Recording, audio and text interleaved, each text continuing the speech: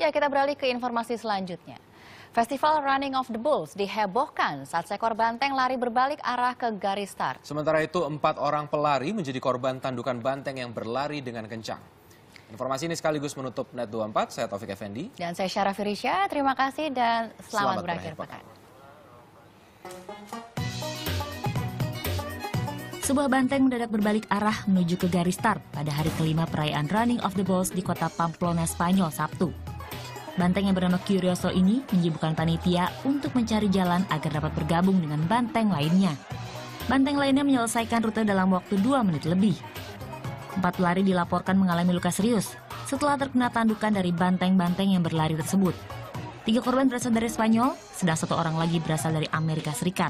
Oh, up until yesterday, pretty pretty good. Yesterday, I um, took a horn to the back, uh, right where uh, Daniel Jimeno in 2009 um, on the corner by there.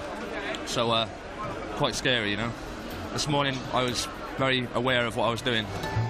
Daniel Jimeno adalah seorang pemuda Spanyol yang tewas tertanduk banteng pada festival tahun 2009 lalu. Ah, see, incredible. I mean, the lead bull was moving incredibly fast. Uh, I had about six seconds on the horns, and so uh, it was very exciting. Very exciting today. Very quick run. Festival tahunan Running of the Bulls di kota Pam